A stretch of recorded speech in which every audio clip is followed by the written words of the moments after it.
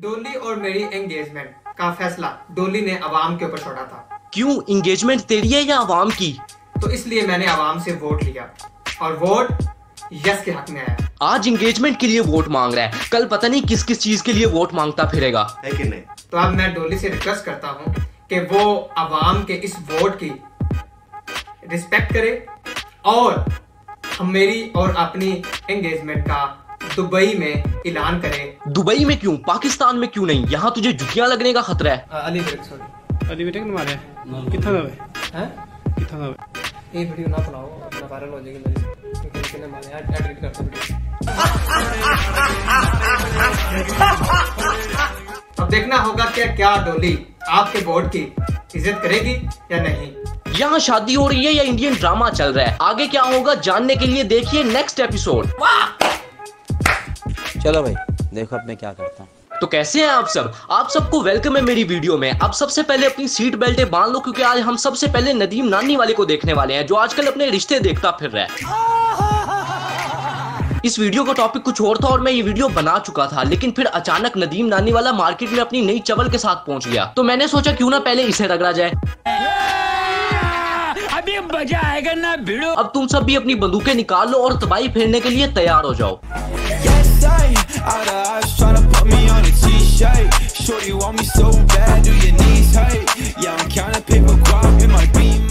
चक्की भाई ने अपने चैनल में एक वीडियो पोस्ट की दो दिन पहले और उसने डोली के लिए बहुत सी गलत अल्फाज का चुनाव किया अच्छा। तो तुझे क्या तकलीफ़ है? डक्की का चैनल उसकी मर्ज़ी वो जैसी मर्ज़ी वीडियो पोस्ट करे। और वो डॉली के बारे में जो भी कहे तूने डॉली का ठेका उठा रखा है। है कि नहीं? पता नहीं क्यों ये बंदा अपने आप को टिकटॉक का मालिक समझता है। टिकटॉक को कोई भी फड्डा हो आ जाता है ये अपना पंगा डालने। पता नहीं कौन सा कीड़ा है इसके अंदर जो इसे सुकून नहीं लेने देता। मस्ती कर रहे हैं।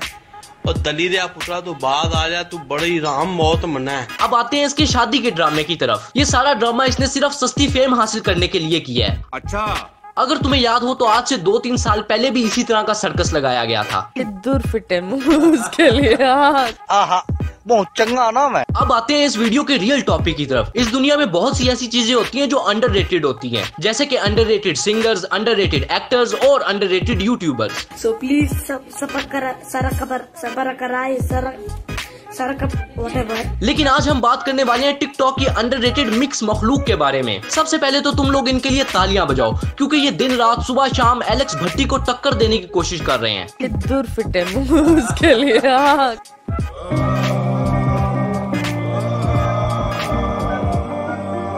अब तुम ही मुझे बताओ कि आखिर इससे ज़्यादा गर्ली और क्या होगा? इस सलीम की हर एक अदा में सलीमा की झलक है। लोग दूसरों के बारे में कंफ्यूज होते हैं या खुद के बारे में ही कंफ्यूज है। नाम सलीम है लेकिन इंस्टा बायो में शी स्लैश हर लिख रखा है.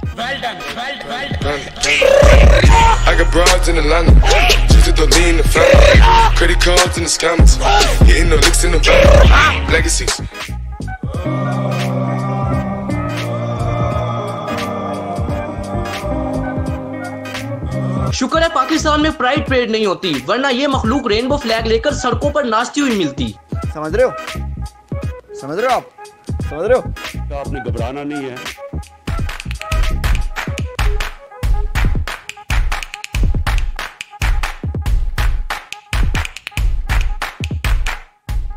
मैंने लोगों को सैनिटाइजर में पानी डालते देखा था लेकिन शैम्पू से हाथों को सैनिटाइज करते हुए पहली मर्तबा देख रहा हूँ। बेवकूफ़ी का कोई इलाज ही नहीं। लेकिन मैं ज़्यादा हैरान भी नहीं हूँ क्योंकि जिस बंदे को यही नहीं पता कि वो सलीम है या सलीमा उसे सैनिटाइजर ये शैम्पू का घंटा पता होगा।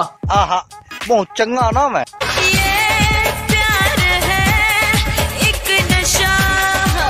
इस वीडियो के कैप्शन में क्यूट अली शान लिख रखा है। ये क्यूटनेस नहीं खुसरानियत है जो तेरे अंदर से सैलाब की तरह बाहर निकल रही है। है कि नहीं?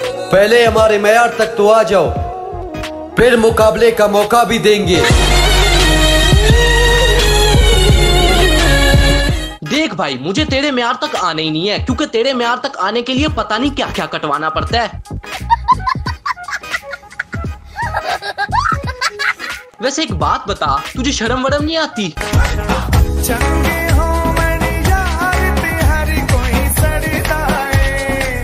वेल डन जिस बंदे के इतने खूबसूरत दोस्त होंगे हम उससे क्या ही एक्सपेक्ट कर सकते हैं? दूर फिटे मुँह उसके लिए हाँ।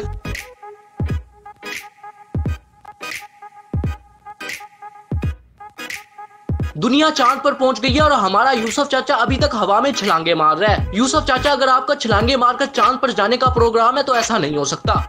ये बड़ी अच्छी बात कही है। खैर, इस वीडियो को यही खत्म करते हैं। अब अगर तुम्हें वीडियो पसंद आई है तो लाइक करो। इस वीडियो को लाइक है मैं 25 लाइक्स अगर अभी तक चैनल को सब्सक्राइब नहीं किया तो सब्सक्राइब करो। और हाँ वीडियो को शेयर लाजमी करना। हो सकता है मेरे कुछ सब्सक्राइबर्स बढ़ जाए। मैं मिलता हूँ नेक्स्ट वीडियो में, तब तक के लिए बाय